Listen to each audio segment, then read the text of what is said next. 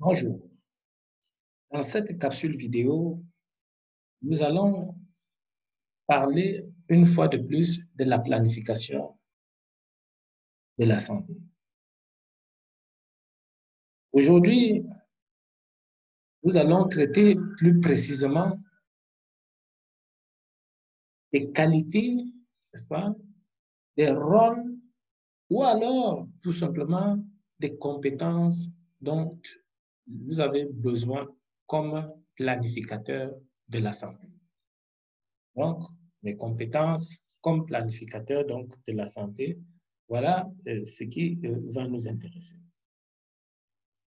D'entrée de jeu, disons que le planificateur a un rôle évident de référence et de maîtrise des outils de planification.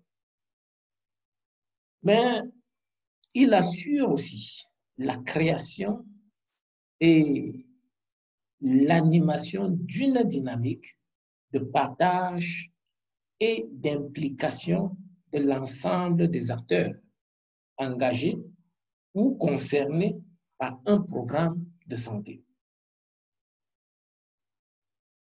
Pour cela, il est attendu de lui un certain nombre de compétences.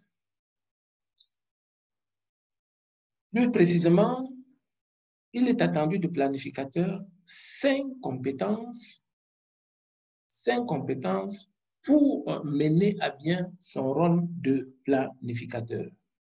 Le premier de ces rôles, c'est qu'il doit être un excellent facilitateur. Donc, il est de fait hein, un facilitateur qui possède, n'est-ce pas, et tout ça, donc, comme facilitateur, il doit posséder des outils, des compétences qui doivent ainsi lui permettre d'intégrer et de valoriser les compétences des autres. Planifier avec d'autres implique euh, plusieurs conditions. Il faut par exemple maîtriser la démarche de planification. Ainsi, pour prétendre être un bon planificateur de la santé, on doit être soi-même au clair avec la démarche de la planification. Si vous ne maîtrisez pas la démarche de la planification, ça va être euh, quelque chose de beaucoup plus compliqué lorsqu'il euh, il vous revient d'assumer ce rôle de planificateur de la santé. La troisième compétence attendue, c'est que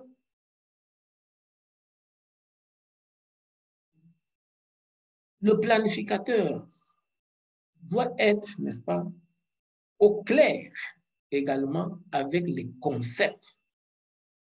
Et les concepts, euh, hein, vous avez vu, nous avons vu dans d'autres euh, vidéos, euh, la planification de la santé est entourée de très nombreux concepts. Donc, pour ces concepts, il est attendu du planificateur qui sache les manier et surtout les traduire ou les interpréter.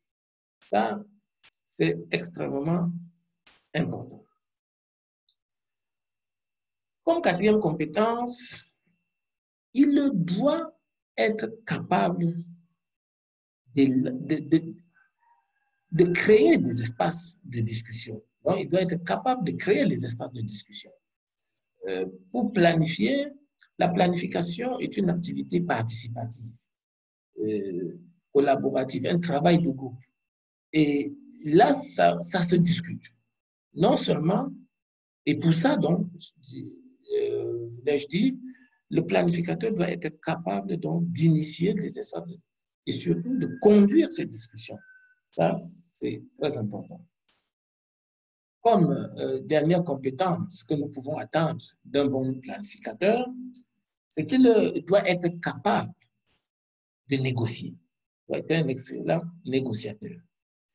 il doit être capable de négocier et surtout d'accepter le principe de consensus.